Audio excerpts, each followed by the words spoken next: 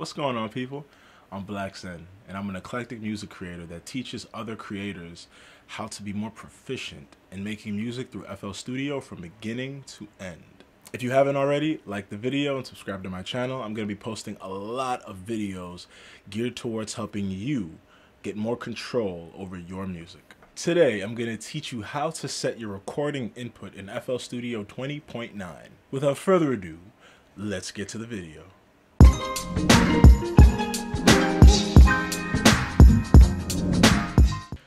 So in this recording channel, I go to this button right here.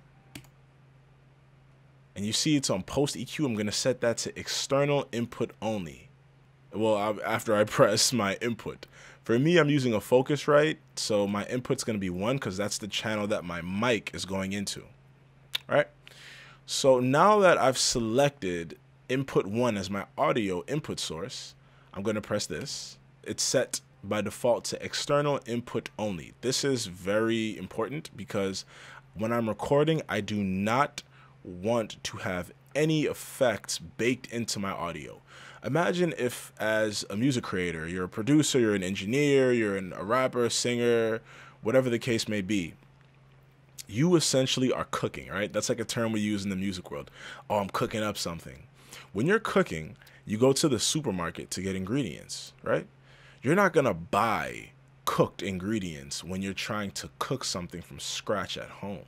That wouldn't make sense. You're going to record with the external input only, which means that it'll default to take audio directly from the sound card in my external interface only. External and mixer input will default to using the external audio plus the mixer input. We don't want that. Post effects basically means anything in these slots we don't want that. This thing, Edison, is just like another recording tool. Uh, you could just keep it muted for now. It doesn't matter. Post EQ includes this equalizer built into each mixer track in FL Studio.